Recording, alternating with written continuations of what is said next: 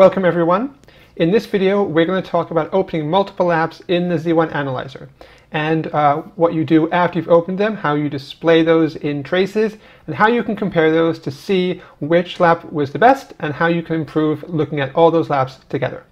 Uh, so remember, we have a new Discord channel. Please uh, join that. It's great for all sorts of information about the Z1 software or just sim racing in general. Uh, the link for that will be in the description below. So let's get started and talk about how you open those multiple laps in the Z1 Analyzer. So here we are in the Analyzer. I don't have any laps open yet, but we're going to go uh, to the Open Lap dialog and select, select the ones we want to see. So uh, file open lap. So this shows you uh, laps that you can open, uh, and I've selected iRacing from the sim and then uh, Hockenheim as the track. Uh, the top section here shows me all the laps that I've driven uh, that are on my machine, and on the bottom here, these are laps from other drivers that you can download if you want to compare yourself to those laps. We're not going to talk about that in this video, we're just going to talk about loading our laps and uh, what we do to, uh, to look at those. So if you double click a lap like this, it will open that lap and you'll see it in the analyzer. Uh, but we want to open multiple laps. So I'm going to go back to that dialog. And you see here on the left there's a little marker saying that this lap is actually open. So I'm going to open, say, lap uh, number 15 here all the way down to lap uh, 6. So to do that, I hold the shift key down and click on the end lap segment. And now all these laps are selected. You can also select laps if you want using the control key. So just hold the control down and click on the individual laps that you want uh, to open. So I'm going to do the selection of a group. So I'm going to do lap 15 through lap 6. So I hold the shift key down and then I double click on 6 and it opens everything from 15 down through lap 6. So now I have uh, several laps open at once in the analyzer. Uh, and you can see here on the lap data screen, this shows me all the laps I have open. Uh, and I can expand this to see uh, more details. If you don't see the screen, uh, you can just go to display and then show lap data right here. Turn this on. So uh, in the lap data screen, a couple things uh, to know. Uh, there is what is considered to be the main lap, which is one here highlighted in, uh, in red. And let's just shrink this back down a bit. Uh, in the, the main lap is the one which is uh, the colored one in the uh, traces and elsewhere in the, the analyzer. So if you look at any of these traces, you can see that there is like a yellow line here for the gear, a green line for the throttle, a red line for brake, and then there's various other gray lines behind it. So the main lap is the one which is um, uh, is is in the color for the the trace. So right now it's just 142.2. If I want to make it to 141.2 here, I would just click on that, and now that one is the main lap which is displayed. And you can see that the traces move slightly because things get rearranged based around your main lap. All these other ones which are here just in white, these are secondary uh, and they're displayed, um, but they are not driving the, uh, the display of the traces. Okay, so with all these secondary laps here, you can determine uh, if you want to uh, show them or hide them. So you can do that individually by clicking on these checkboxes here. So if you want to have some of them not being shown, every time you click one, it hides that one in the trace. Uh, the main lap has to be shown. You can't not show the main lap. Uh, so that is a checkbox, but it's deactivated at this time. Uh, you can also go to the laps and then choose here, show or hide all laps. So if I want to show all of them, I can choose that, or I can hide them all and it hides everything but the main lap. And uh, if you decide that you have a lap open that you don't want to have open, you can uh, close it by double clicking on the X on the lap that you want to uh, close. So say you want to get rid of this one, here this one, 41.597, you can just uh, double click the uh, X and then that lap is deleted. So for these purposes, I'm going to show all my laps. So another thing you can do in the uh, lap data screen is you can sort the lap order. So you just click on, let's expand this a bit, uh, you click on the header you want to sort by, so I can sort by the lap number, uh, and then the little arrow here shows you the direction of the sort. Or you can sort by time, or driver or car track sim, etc.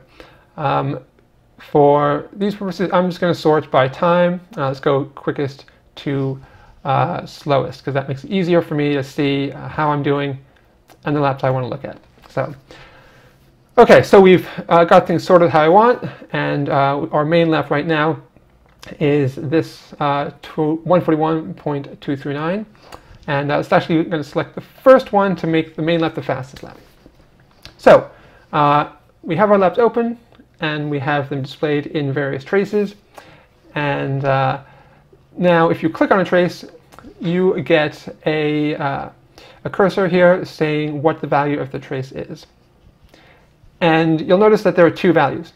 Uh, so they're all quite similar here, uh, a 123, 123 for the speed, 100% throttle, 0% brake, things like that. So what this is showing you is the first number is the main lap, the 141.2, and the second number is the first available secondary lap. So that's whichever is first in this list as a secondary lap. So that's the 141.239 here.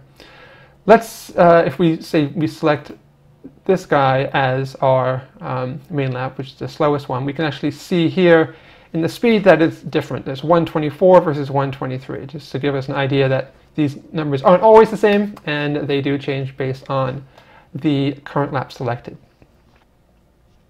So you can also play back your laps in the analyzer uh, by going to the track map and clicking the play button, or you can go here and choose play lap um, from the lap menu. So we're going to click the play button and uh, the lap starts to get played back from wherever we happen to be. So right now we're playing back based on time. You can also choose to play based on distance, uh, depending on what you're looking for. Um, so time is a good way to see how you are uh, how the laps compare to each other and which one is gaining or losing. So as you can see on the track map, there's several different dots. Uh, it's a bit hard to see right now, but uh, as they go around, they'll move relative to each other based on which lap is ahead or behind. Over here in the lap data, you can see uh, the selected lap, the main one, this is the lap time for it. And then all the other ones you have whether you're ahead or behind of those laps. So if it's red, uh, that means you are behind that those other laps. So right now we're behind all of them, which makes sense because we're the slowest lap. If it was green, uh, you'd actually be ahead of it. Uh, and then you can let this play out all the way to the end of the lap, which we suggest you do because you do get a lot of information to see, well, where in the lap um, are you gaining or losing a lot of time. It's quite a good visual way to do it uh, and much easier as sort of the first starting point to see where can you gain a lot of time. So I'm just going to pause this for the moment.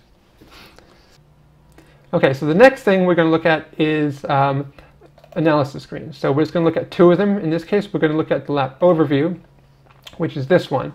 Uh, and this has a lot of information in it, uh, but it sets out in quite an easy way for you to see how your lap compares to, uh, sorry, how the main lap that you've selected compares to the other laps in uh, the selection of laps you have open. So right now, in the detail, here are our laps. Uh, it's sorted in the same way as you have in your lap data screen. Uh, and it gives you just the detail of you know, the time and the delta, um, the weather conditions, because that can be important. Uh, these are all from the same uh, uh, stint, so the weather is all the same. But you can see the delta of what, uh, how your lap that you select compares to the other ones. And then below it, you get a breakout of the sectors um, for each lap time and an optimal lap time. So my best sectors were these green ones here. And if I put them all together, I would have got a 140.9 as opposed to my uh, 141.2. So there's, there is time to be had, and this is a good quick way to see um, what it is and where uh, you, can, you can look to get that time. And then if you scroll down, there's a lot of other information here um, about uh, driving line and uh, turn information and things like that. We're not going to get into that in this video, uh, that's for another one which we will do uh, at some point in the future. And uh, I'm sure if you subscribe to the channel and uh, hit the like button and all that wonderful stuff that YouTube allows you to do, you'll get notified as soon as that video is available. The next analysis screen is the driving line. So this one is really useful once you have lots of laps open because you can see what your consistency is around the track. Uh, and as we all know, consistency is king. That's what you've got to do if you um, want to maximize your performance in a race, you want to be consistent because if let's look at these lap times here. My best one is this uh, 141.2 and my worst one is a 142.2 so basically a second in difference. Um, if I'm able to do my best lap every single lap and the race is 30 laps, that's 30 seconds. That's a lot of time. And it, I don't really have to improve that much. I just have to do my best all the time. Uh, so they can see that it's just being con uh, consistent. Uh, usually these time differences are based on small mistakes here and there or going a bit wide in the turn or whatever. And if you can eliminate those, then you'll gain a lot of time in the race. And a good way to do that is to look at the uh, driver analysis, I'm sorry, the driving line analysis and see does your line differ? Um, because if it does, that is a good place to start and say, okay, well, what can I do to make it uh, not differ? So I'm zooming in here on the track and start finishes here. And this is the first turn. So um, we have all these different lines, and the red one is, again, the main lap and then you have all the blue ones, which are the other lap times. So um, we are just going to, sorry, stop the, uh, the timing so then we can get our lap time display back here. So I want to look at my best one. So I'm going to choose that in the lap time. So now you can see the red line, this is my best lap.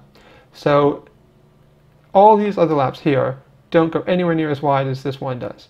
Uh, know there's a curb out here, so I'm using a lot of it, so this is good. So that's one note I should go out and use the curb more. And I can follow this down all the way to the next turn and see how am I doing here? Am I consistent? And I'm pretty good here. You know, most of these lines are within this, you know, a few uh, feet, half a car length of each other, so that's good. If you noticed one of them was way out here or way in here, or you were just all over the place, that would be uh, a, a sign to say, okay, I should look at this turn and try to be more consistent, try to keep that same line all the time. Um, it's not going to be a single line because there's always going to be some variation, but you do want to try to make it so that you are sort of like this. You know, you're within about half a car length, uh, width of the same place every single time. Uh, and then if we go down all the way to here, we can see down here. In this turn, there's quite a bit of difference. Um, they're wheel coming about the same, but some of them go deeper, some of them don't. And you can click through the laps to see which ones. It's like this one here is not that great.